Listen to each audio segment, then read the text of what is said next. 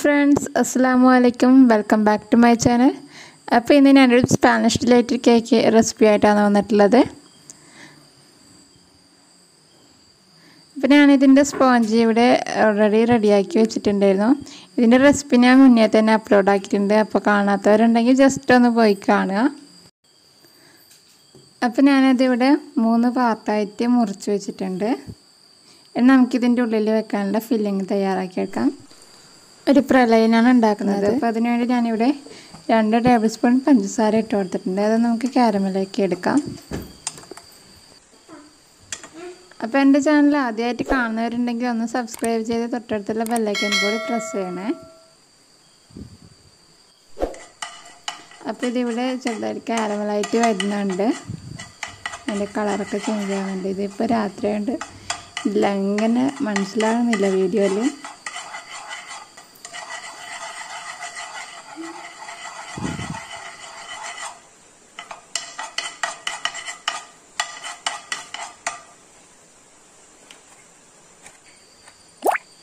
അപ്പോൾ ഇതിന്റെ ഒരു ഗോൾഡൻ കളറായി വരുമ്പോൾ നമുക്കിതിലേക്ക് ഒരു ടേബിൾ സ്പൂണോളം ബട്ടർ ഇട്ട് കൊടുക്കാം.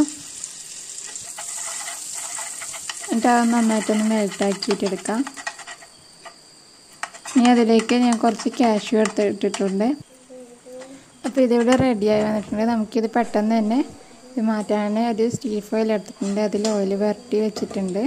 നമുക്ക് അതിലേക്ക് പെട്ടെന്ന് തന്നെ അത് ഒഴിച്ച് സെറ്റാക്കാം സ്റ്റീൽ ഫോയിൽ തന്നെ വേണമെന്നില്ല. നമുക്ക് പ്ലേറ്റിലും ഇതുപോലെ ഓയിലൊക്കെ ബ്രഷ് ചെയ്തിട്ട് സെറ്റാക്കി എടുക്കാവുന്നതാണ്. പെട്ടെന്ന് തന്നെ അത് അങ്ങോട്ടേക്ക് സെറ്റാക്കി വെക്കണം. ഇപ്പം ഞാൻ കേക്കിന്റെ ഏറ്റവും മുകളിലത്തെ ഭാഗം എടുത്തിട്ടുണ്ട്. അതിലേക്ക് ഞാനിപ്പോൾ കേക്ക് വെറ്റ് ചെയ്യാൻ വേണ്ടിയിട്ട് പാൽ ചൂടാക്കിയിട്ട് അതിലോട്ട് മിൽക്ക് മെയ്ഡും അതുപോലെ ബൂസ്റ്റും കൂടി ഇട്ട് കൊടുത്തതാണ്. ഈ മിൽക്ക് മിക്സ് നന്നായിട്ട് തണുത്തതിന് ശേഷമാണ് ഇതിലേക്ക് വെറ്റ് ചെയ്യാൻ എടുക്കുന്നത്. നമുക്ക് ഇതിന്റെ മുകളിലോട്ട് ക്രീം സ്പ്രെഡ് ചെയ്ത് കൊടുക്കാം. ഇനി അതിന്റെ ഉള്ളിൽ ഫില്ലിങ്ങിനായിട്ട് ഞാൻ നേരത്തെ തന്നെ തയ്യാറാക്കി വെച്ച പ്രാളയം മിക്സിയിലിട്ടൊന്ന് പൊടിച്ചെടുത്തിട്ടുണ്ട്. നമുക്കത് അതിന്റെ മുകളിലോട്ട് ഇട്ട് കൊടുക്കാം.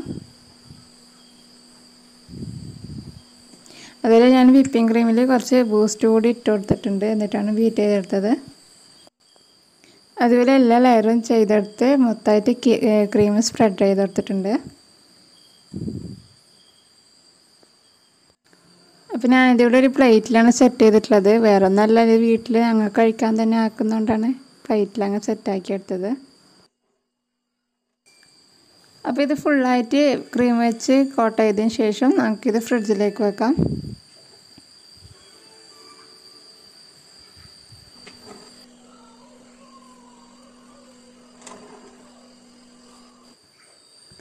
അപ്പോൾ ഇതിൽ ക്രീമൊക്കെ ഫുള്ളായിട്ട് കവർ ചെയ്തതിന് ശേഷം ഞാനിവിടെ സ്ക്രാപ്പർ വെച്ച് വരണിട്ട് ഒന്ന് ഫ്രിഡ്ജിലേക്ക് വെച്ചിട്ടുണ്ടായിരുന്നു.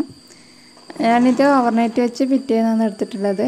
ഇനി നമുക്കിതിലേക്ക് വേണ്ട ചോക്ലേറ്റ് കനാഷ് തയ്യാറാക്കിയെടുക്കാം അതിനായിട്ട് കാൽ കപ്പ് ചോക്ലേറ്റും രണ്ട് ടേബിൾ സ്പൂൺ വിപ്പിംഗ് ക്രീമും ഒരു ടേബിൾ സ്പൂണോളം ബട്ടറും കൂടി മെൽറ്റ് ചെയ്തെടുത്തിട്ടുള്ളതാണ്. ഡബിൾ ബോയിൽ ചെയ്തിട്ട് മെൽറ്റ് ചെയ്തെടുത്തതാണിത്.